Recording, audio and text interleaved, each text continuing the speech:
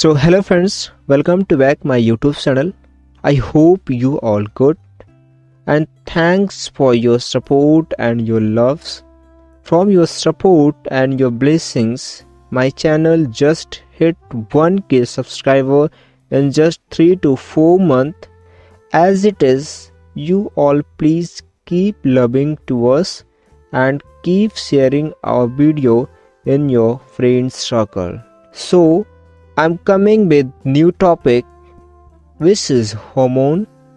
You all please don't skip this video and watch this video properly and don't forget to give your feedback. Your feedback is our blessings so please don't forget your feedback and your blessings. So let's start the video. The term hormone is derived from Greek word which stands for to excite. The term hormone was first used by Ernest Henry Starling in 1905 in his first lecture delivered to Royal Society. Starling along with Wallace has discovered the first hormone in 1902 which is secretin. An endocrine hormone is a chemical substance that produced by the endocrine glands in response to certain stimuli. The endocrine glands are the glands which have not any ducts.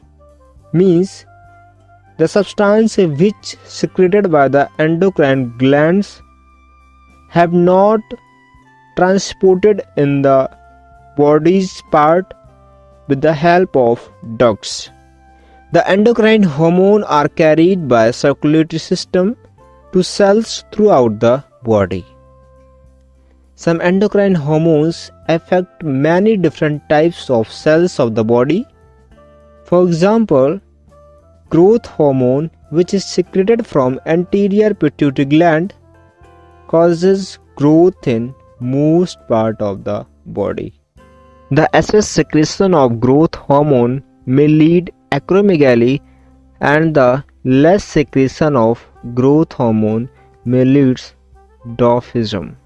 So, this is the basic topic of the endocrine system which is the second control system of our body. So thank you so much. Thanks for watching this video. Please sharing this video in your friend circle. Thank you so much.